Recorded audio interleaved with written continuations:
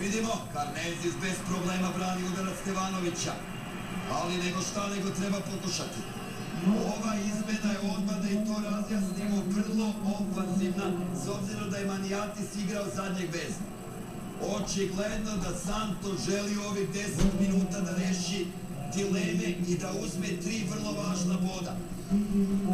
Mitroglou nije postigao mnogo golova za reprezentaciju Grčke, da se razume, postigao je samo dva na 17 utakmica, rekao si ima 24 godine, ali to se desilo jako, jako skoro.